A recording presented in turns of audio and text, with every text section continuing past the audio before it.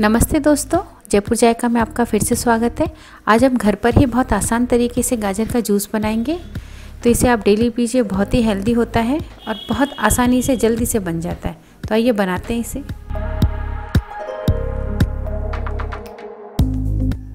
तो ये देखिए, इसके लिए मैंने चार से पाँच गाजर ली है। उन्हें अच्छे से धो लिया है और छील लिया है। थोड़ा सा मैंने काला नमक लिया है यहाँ दो चुटकी, एक चम्मच चीनी ली है और आधा नींबू लिया है। चीनी आप कम ज़्यादा कर लें या छोड़ दें इसको। और इस तरह एक मिक्सर ग्राइंडर लीजिए और उसमें रफली आप गाजर को चॉप कर लीजिए। और उसके बाद इसमें हम चीनी और नमक डालेंगे और एक गिलास पानी डालेंगे। और इसे आप ब्लेंड कर लीजिए, बहुत जल्दी हो जाएगा, ये टाइम नहीं लेगा। और देखिए, इस तरह की चलनी लेनी है आपको। और उसमें प्योरी डाल दीजिए। तो ये पतली है, ज़्यादा गाढ़ी नहीं हुई है तो बहुत इजीली ये छन जाएगा सब कुछ। तो देखिए, एक चम्मच की हेल्प से आप इस तरह से इसको प्रेस करते हुए छान लीजिए।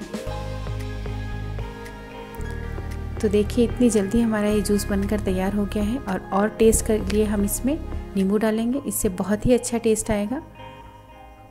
तो ये देखिए, सिर्फ़ दो मिनट में हमारा गाजर का जूस बनकर रेडी है। इसे छोटे तीन से चार गिलास जूस बन जाएँगे। बहुत ही सुंदर दिख रहा है और बहुत टेस्टी भी है। तो आप इसे बनाइए। और अगर आपको मेरी वीडियो पसंद आई हो तो प्लीज़ मेरे चैनल को लाइक करें और सब्सक्राइब करें।